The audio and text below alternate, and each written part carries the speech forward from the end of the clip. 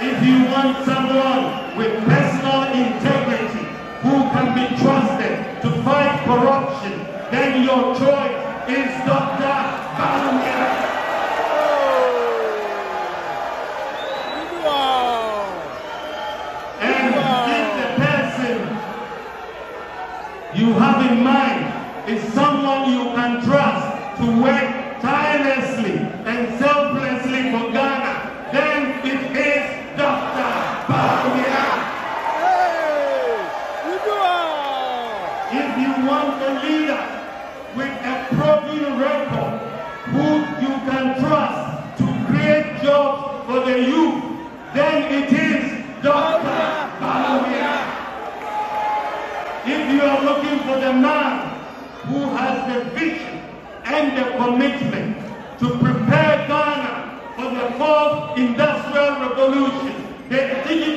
revolution,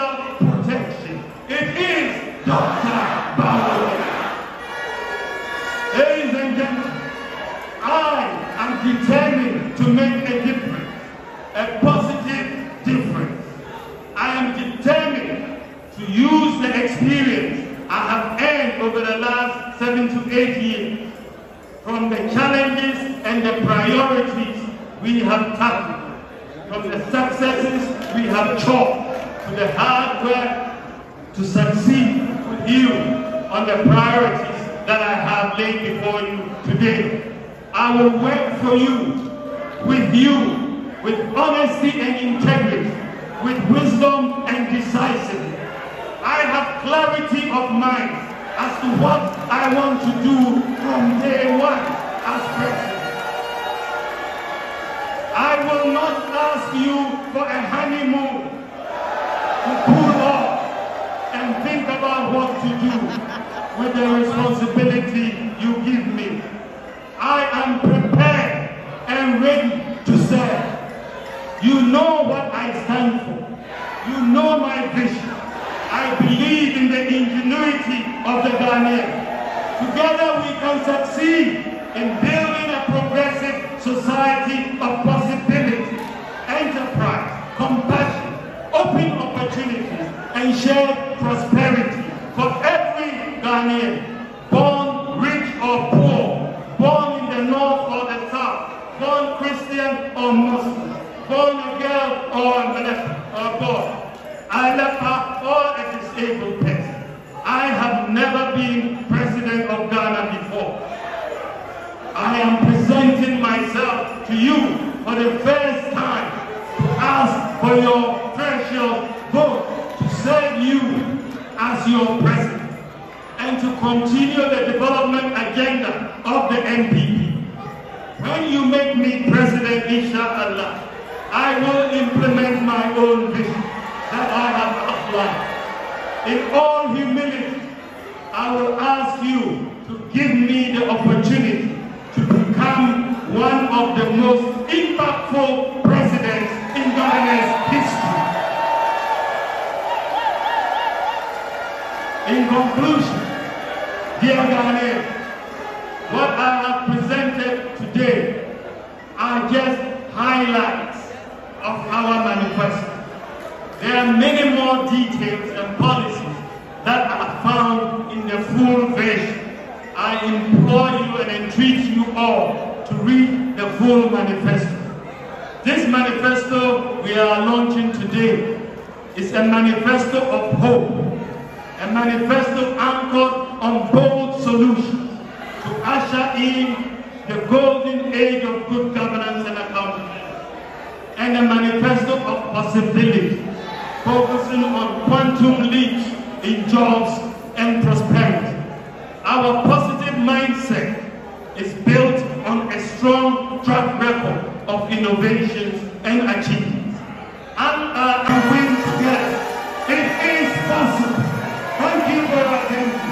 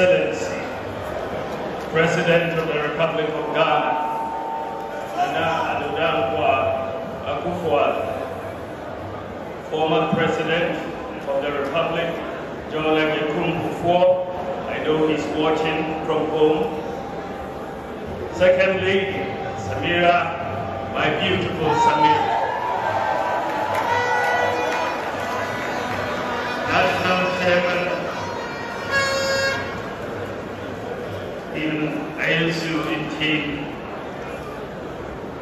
running mate and incoming Vice President, inshallah, Dr. Matthew Opoku Prempeh, Chief of Staff, Akosua Frema Osei-Opare, the General Secretary, famous Justin Ridiakot Kodua, Ministers of State, Members of Parliament, of course not forgetting the majority leader of Parliament, our parliamentary candidates, our MMDCs, Chairman of the Council of Elders, National, Regional, Constituency, and Polling Station Executives, the media, ladies and gentlemen, I extend a warm welcome to you all. I stand here filled with a lot of emotion, humility, and nostalgia. 16 years ago, right here in this beautiful city of Sekondi Takoradi, I was outdoor to the good people of Ghana as the running mate to the visionary leader then flag bearer and leader of the new patriotic party, His Excellency President Nana Addo Dankwa ah, Akufo-Addo. Ah. Today, I am privileged to return to Takoradi, this time against all odds as the presidential candidate of the new patriotic party to launch the 2024 manifesto of the party. With God, it is possible.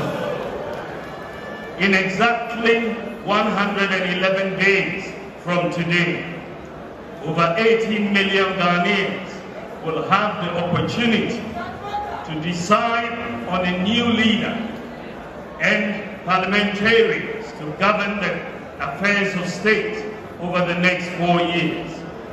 Fellow Kukurudites, the race is on, and I know, and you know, and they know that the momentum is on our side. I have witnessed firsthand the enthusiasm, commitment, and determination of the rank and file of our party the great new patriotic party to break the eight and usher in life-transforming ideas that will deliver broad-based prosperity to all Ghanaians. From my possibilities tour, I came across hope, expectations, and the belief that it is possible to transform Ghana and create a sense of pride in the Ghanaian. Our tradition, the Danquah Dombo Busia tradition, has not only been the vanguard of the rule of law and governance, but also pacesetters and drivers of the life-changing policies and interventions. Let me first thank Honorable Osei Kyei-Mensah-Bonsu, the chair of the Manifesto Committee, the co-chairs, and all members of the Manifesto team for putting together this wonderful document. I am very grateful for their dedication. Let me also thank the earlier presenters for highlighting the major achievements of our government under the leadership of President Nana Akufo-Addo. We have taken time to highlight these achievements because track record is a significant predictor of credibility and the potential to do more. We have catalogued them because in the NPP we view these as our obligation to the people from whom we draw our mandate. We have enumerated them precisely because they communicate our ability to respond to the numerous needs of different sections of our society. Indeed, we have listed them to show we remain committed to fulfilling the social contract we have with the good people of Ghana. Above all, the exercise we have undertaken confirms that hundreds of pledges that have been made to the Ghanaian people and broadly they have been kept and given the opportunity more impactful and forward-looking interventions will be implemented to move Ghana to the next level of, de of the development journey. A journey that will build on our successes to open opportunities for all. We promise to change. We promise change, and we have made significant progress. Mr. President, history will be kind to you and you shall be remembered, remembered for your unprecedented achievements and the millions of lives you have touched. We are eternally grateful. Ladies and gentlemen, if there was any doubt believe it is crystal clear from the data-backed account we have given that our overall performance and track record are superior to that of my opponent and his party in virtually every sector. Virtually every sector we are superior. But I believe as a former president and a proud student of history, he knows that. And that is one part of the reason why he is avoiding a debate. The other part, of course, is about the courage and the confidence to put what he intends to do differently this time around with the power he seeks side by side to the vision I have for Ghana and a clear roadmap to getting the work done. That is the choice we are presenting to you, the Ghanaian voter, on December 7th.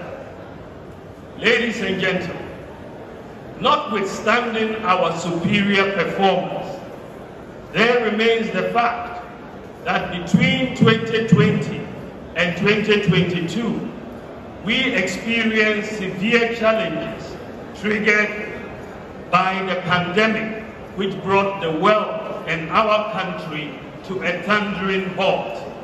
The world experienced the greatest economic depression since the 1930s, with most countries recording negative GDP growth. Supply chain disruptions and the rising price of oil resulted in major increases in the prices of fuel, freight, and food across the globe. Indeed, Ghanaians were hit very hard by rising food prices, increased exchange rate depreciation, rising fuel prices, and rising transport fares. Our debt became unsustainable and had to be restructured. Bondholders saw a sharp decline in their net worth following the painful yet unavoidable debt restructuring program. We faced very very challenging times, but with calm leadership and the support and understanding of the good people of Ghana, we have weathered the storm. and the economy is firmly on the path of recovery with increasing GDP growth and declining inflation. It is gratifying to note that our policy intervention, but we know that for many families, the cost of living is still very high. The hardship is real, and we commit to doing more to relieve the difficulties Ghanaians are facing. We, we are equally committed to creating more job opportunities that will significantly reduce youth unemployment among the national population that has increased over 5 million in the last eight years alone. We have created so far 2.3 million jobs, the most of any government in the Fourth Republic. But youth unemployment remains a major concern and that confronts us. And we are committed to doing even more. This is why, ladies and gentlemen, it is better to continue with a party that has created more jobs than any other in the Fourth Republic than go back to a party and a leader who, after four years of doing so, created more unemployment than any government in the Fourth Republic. Ghana, Ghana needs bold solutions to deal with the challenges we face. And that is what I am offering in asking for the mandate of the Ghanaians. This manifesto that we are launching lays out compre a comprehend our comprehensive plan to take Ghana to the next level of growth, prosperity, under a selfless leader with bold solutions for jobs and businesses. Ladies and gentlemen, my vision, as I have stated, is to create a tent big enough to accommodate every Ghanaian, tap into the resourcefulness and talent of our people, irrespective of our different ethnic, political, and religious backgrounds, to channel our energies into building the kind of country that assures food sufficiency, safe, prosperous, and dignified future for all Ghanaians, to create sustainable jobs with meaningful pay for all, and for Ghana to participate fully in the fourth industrial revolution using systems and data. To realize this vision, we must collectively have a mindset of possibilities, not impossibilities. There is a critical failure of mindset that manifests itself in the absence of core values, patriotism, and principles within our society. We need to invigorate the can-do spirit of Ghanaians to believe that we can even do better than we have ever imagined if we put our minds to it. For example, students from Mamfe Girls and Prempeh College have won international robotic competitions against their peers in the US, Germany, South Korea, and so on. Recently, Dr. Angela Tabiri from Ashaiman was crowned the world's most interesting mathematician after a global competition with some of the best mathematicians in the world. The mindset of possibilities must be inculcated in our children from home and school. This is why we are going to introduce a growth mindset curriculum in our schools to help students build critical skills such as problem solving, risk taking, opportunity spotting, and design thinking. Ladies and gentlemen, We have experienced a major economic crisis, and with your support, weathered the storm. But we are not yet where we want to be. It is therefore very important to protect and expand our rebounding economy to attain and sustain macroeconomic stability with low inflation, low interest rates, exchange rate stability, and low budget deficits. Fiscal discipline and private sector empowerment will be the key to realizing our commitment to job and wealth creation. To sustainably reduce the budget deficit and interest rates, my government, inshallah, will enhance fiscal discipline through an independent fiscal responsibility council enshrined in the Fiscal Responsibility Act.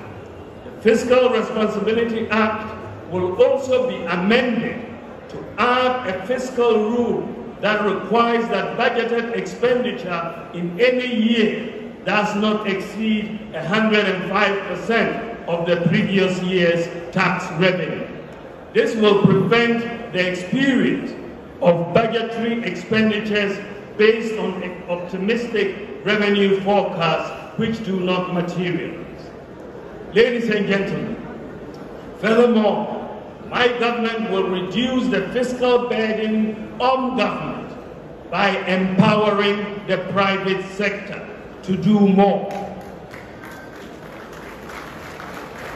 Fundamental to building any modern, prosperous society is ensuring that access to education and health is available to all and that there is a safety net for the most vulnerable.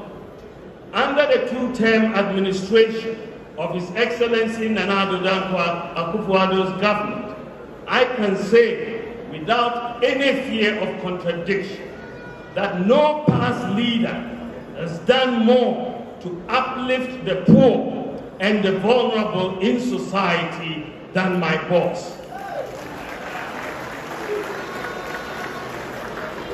We put in place new ones and expanded existing social policies and programs for the masses across Ghana, like the free senior high school, free TVET, Agenda 111, one constituency, one ambulance, expanding school feeding, national health insurance care for childhood cancer, sickle cell patients, and kidney dialysis, and so on. I pledge to you that my government will protect and deepen all these programs that several millions of you depend on. From my, from my interactions with the people, the three top major concerns of Ghanaians are the cost of living, jobs, and roads. The 2024 manifesto of the new patriotic party prioritizes what you, the Ghanaian people, say are your priorities. The manifesto lays out a clear path of how we plan to solve these major problems, among others. That is why my government will make business and jobs our number one priority. True to our philosophy, I believe the private sector has the capacity to provide jobs and create wealth for society. My administration will therefore incentivize the and empower the private sector to do more in complementing government in the provision and management of many infrastructures and other public services. This can reduce government expenditure, increase efficiency and accountability, create competition and improve maintenance. Yes, we have built more roads than any other government in the Fourth Republic. but we still have a lot to do. In the last eight years, we have been deliberate in empowering Ghanaian contractors to undertake many major infrastructural projects that would otherwise have gone to foreign contractors. My policies will encourage the private sector to take greater responsibility in the provision and management of critical infrastructures, including building hostels, housing, and schools for government to rent or lease to own. The demand for roads construction is massive, and this has historically placed a huge burden on the budget. I will make it more attractive for the private sector to also finance construction, management, and maintenance of roads through PPP concessions. Also, I want to change our procurement culture drastically to tackle waste and corruption. My government will move towards leasing rather than outright purchase of goods such as vehicles, printing equipment, and so on. The private sector will have the responsibility for the maintenance of the equipment. Works, and it is supported by individualized credit scoring by the credit rating agencies. In the advanced countries, people are able to obtain mobile phones for free for, under a contract arrangement with their telephone company. But people with the impossibility mindsets don't understand that these things are possible. In Ghana, such a credit system is yet to develop, and therefore life is harder for our workers. It is our goal to make it easier and cheaper to access credit by leveraging our data and our systems, such as the Ghana card, the Ghana Post GPS, mobile money interoperability, Momo accounts, DVLA, GRA data, bank accounts, and so on to build an efficient credit system and a mortgage market in Ghana underpinned by an individualized credit scoring system and the digitalization of land titling and transfer. We look forward to starting individualized credit scoring in Ghana this year in 2024. And this will make it easier for Ghanaians to access credit at lower interest rates. My promise to you is that soon you, you in Ghana will no longer have to save before you are buying what you need.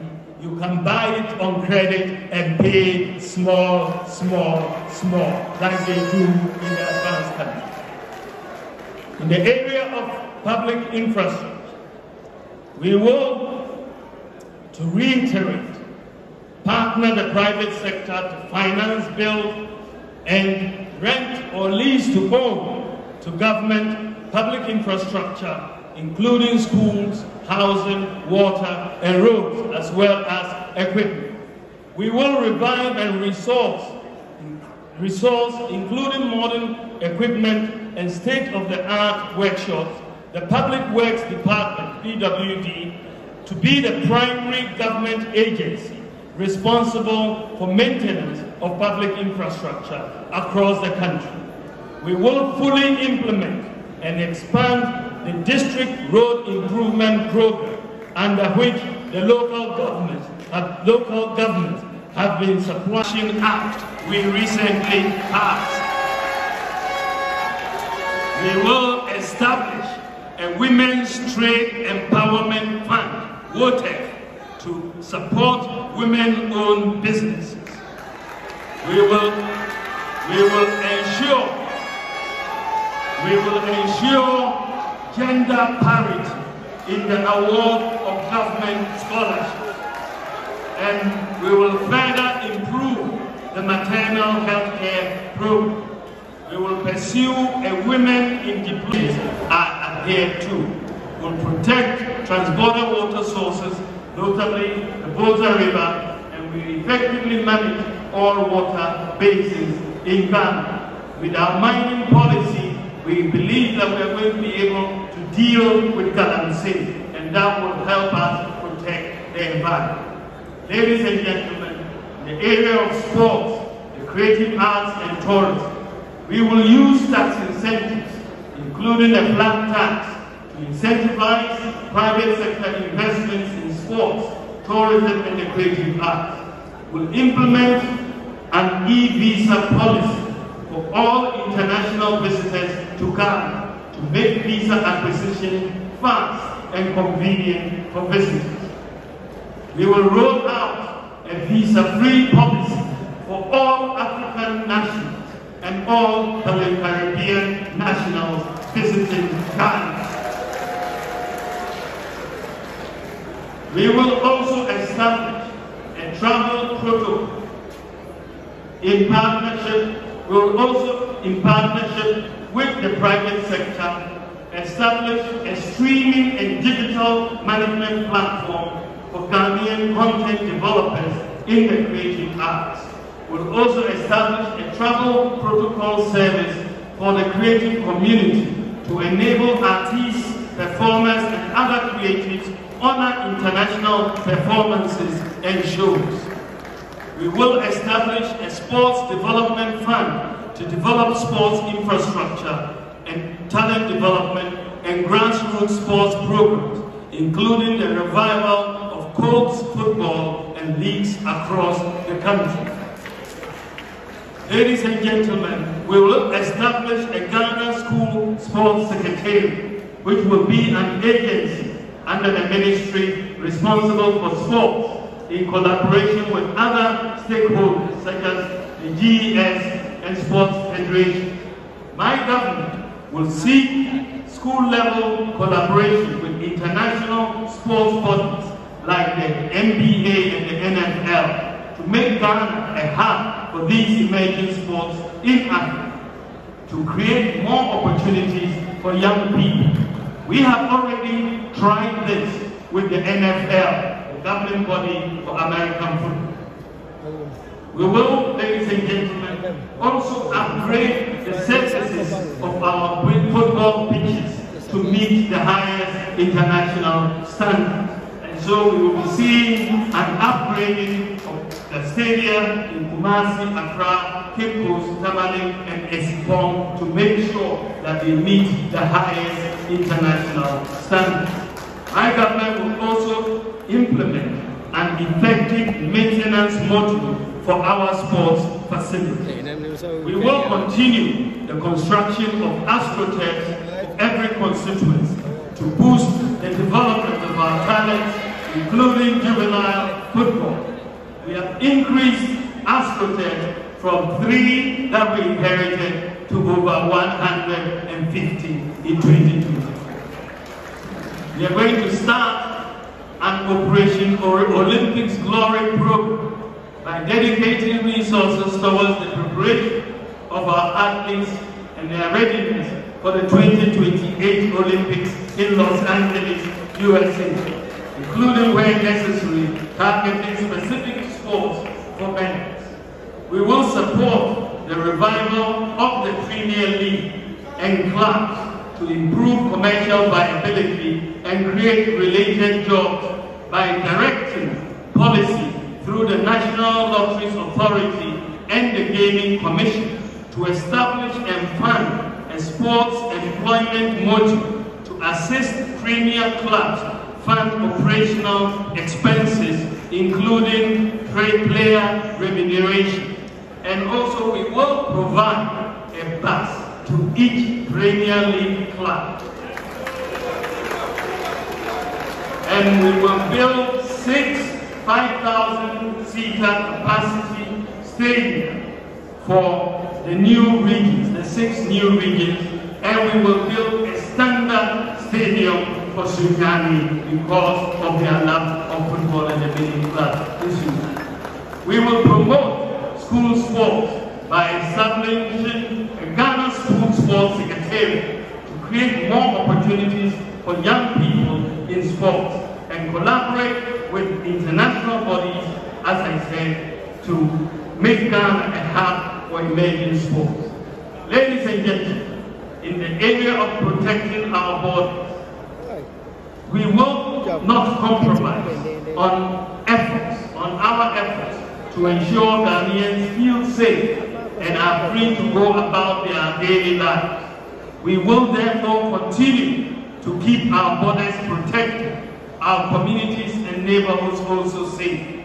We will complete the 15 forward operating bases at our border frontiers of Ghana. This will allow the military to swiftly respond to any external hostilities and threats posed by terrorists in the sub-region. We will continue equipping Ghana's security service to build their capability in protecting the nation. And we will also focus on equipping the prison service as well as the fire service.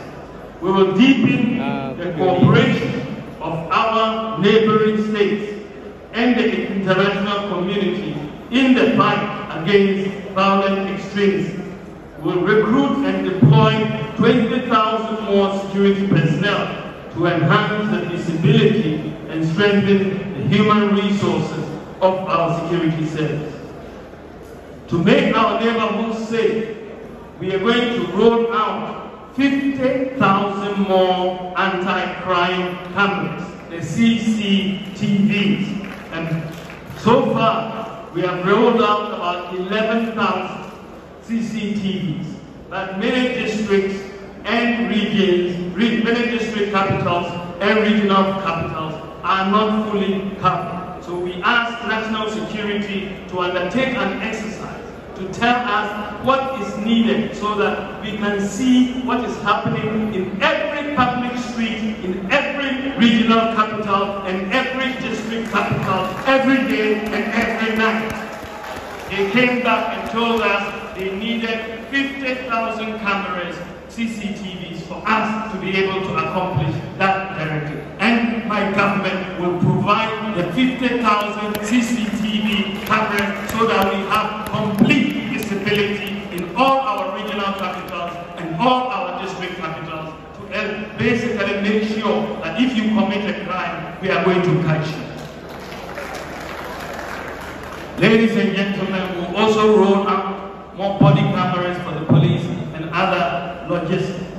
I believe that we can find, ladies and gentlemen, a broad, you know, find broad contour of, of a national development plan for which we can find consensus in areas such as education, healthcare, industrialization, and so on.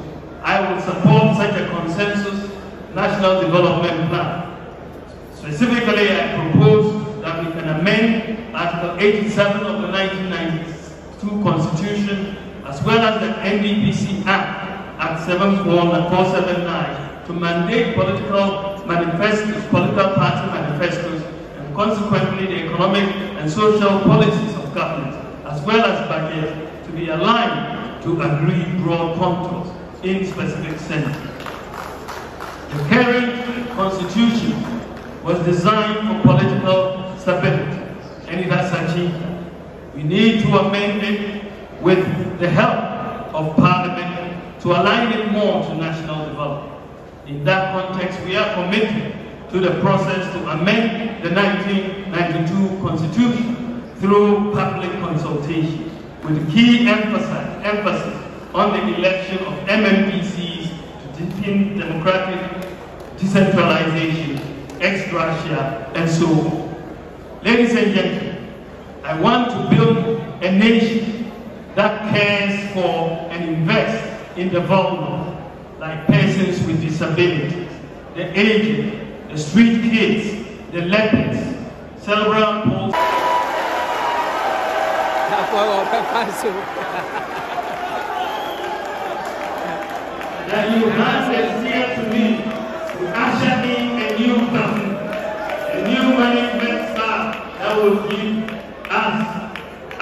as additional results. A paradigm shift in how we manage our resources and let the benefits of nature reach out to every member of society. With all humility, I declare that I am a visionary leader who can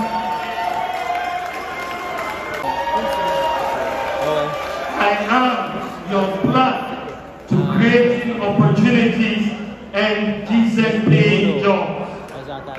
I shall offer you a problem-solving leadership built on my values of integrity, compassion, and sincerity. To this end, I have presented for your consideration our manifesto for 2024.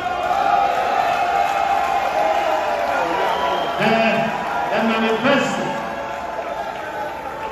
the manifesto is giving, it is giving hope, it is giving idea, it is giving joy. It offers the opportunity to create a new generation of entrepreneurs through my business support initiative. It strives to make Ghana fully and fully digitalized nation in which you are able to access public services with ease. It incentivizes the private sector to expand and deliver good jobs. Ladies and gentlemen, I believe that as Vice President, the policies I have championed or initiated have impacted or will impact the lives of virtually every Ghanaian.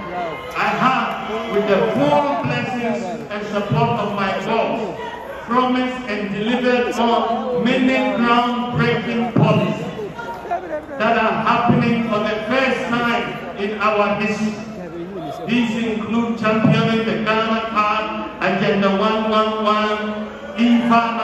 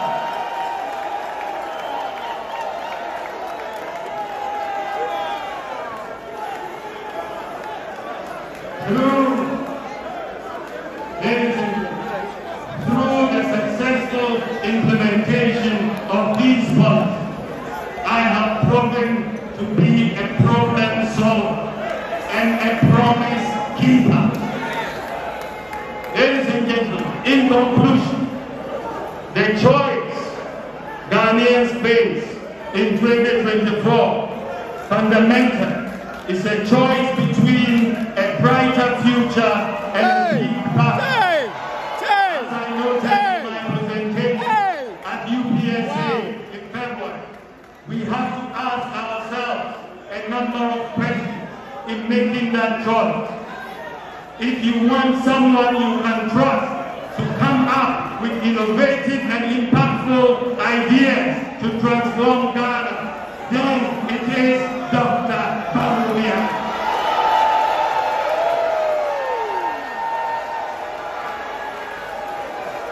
If you want someone with personal integrity who can be trusted to fight corruption, then your choice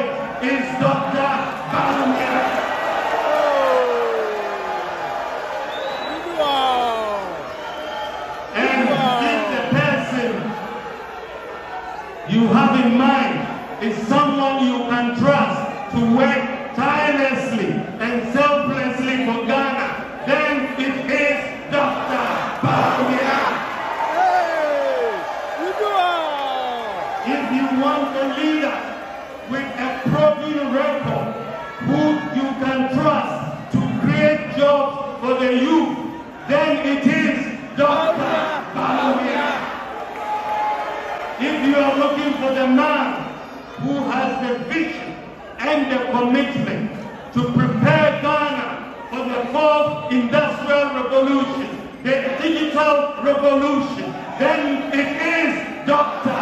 Bawumia. Hey. If you are looking for the man who is more committed to protecting and using the natural resources for the benefit of Ghanaians, then the answer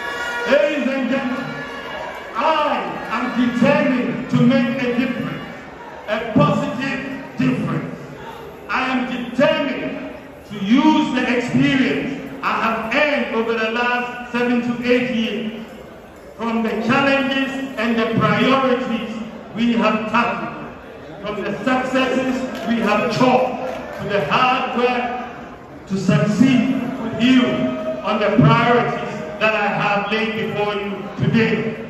I will work for you, with you, with honesty and integrity, with wisdom and decisiveness. I have clarity of mind as to what I want to do from day one as president. I will not ask you for a honeymoon to cool off and think about what to do with the responsibility you give me. I am prepared and ready to serve.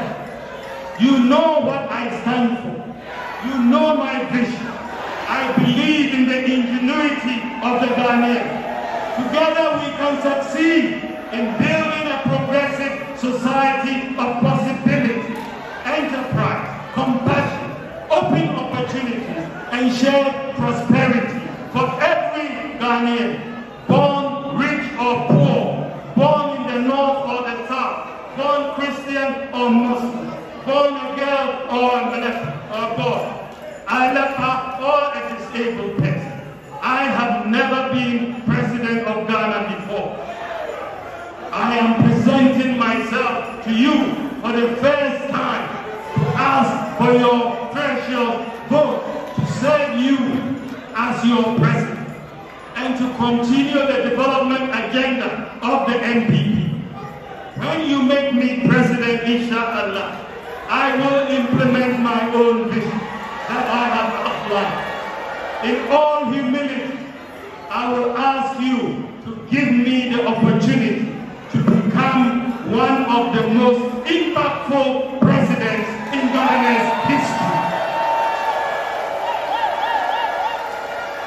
In conclusion, dear Ghanaians, what I have presented today are just highlights of our manifesto.